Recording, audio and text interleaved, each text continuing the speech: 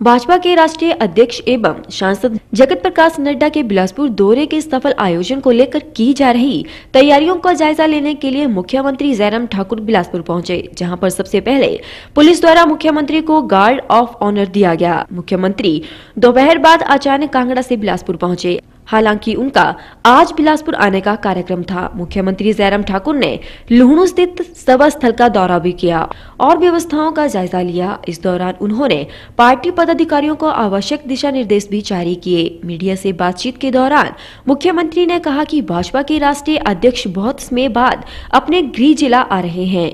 बिहार विधानसभा जैसे राज्य के चुनाव में एनडीए की सरकार बनाने में बहुत बड़ी भूमिका रही है। उन्होंने इसके लिए जहाँ प्रधानमंत्री नरेंद्र मोदी की नीतियों का गुणगान किया।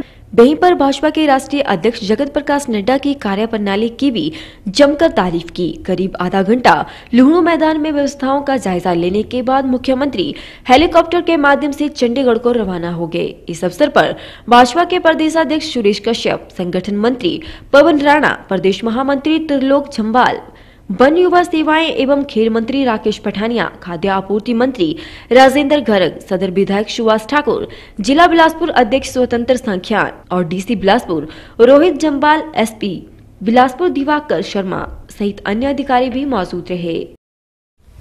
कल भारतीय जनता पार्टी के राष्ट्रीय अध्यक्ष आदरणीय जगत प्रकाश नड्डा जी हिमाचल आ रहे हैं और बिलासपुर में यहाँ हम लोग के स्वागत के लिए यहाँ पर होंगे कल।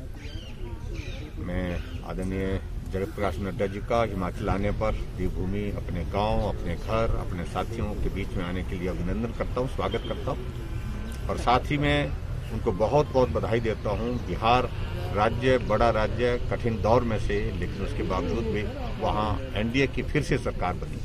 इसके लिए उनको बधाई देता हूँ। उन्हें सारे कैंपेन का वहाँ पर जो है वो संचालन किया, नेतृत्व किया और आदरणीय मोदी जी और नड्डा जी को मैं बिहार की जीत पर बधाई देता हूँ।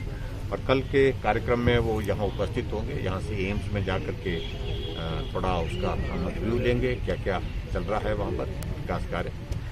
और उसके साथ में फिर नड्डा जी के साथ मिलकर के पार्टी के साथियों का मिलना होगा।